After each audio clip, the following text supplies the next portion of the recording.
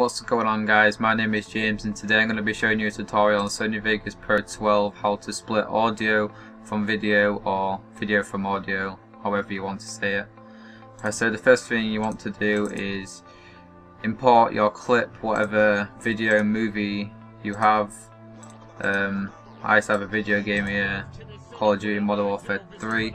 Um, what you're going to want to do is press on either one of the layers, the audio or the video layer, and you just want to press the U key on your keyboard, and this will separate them both.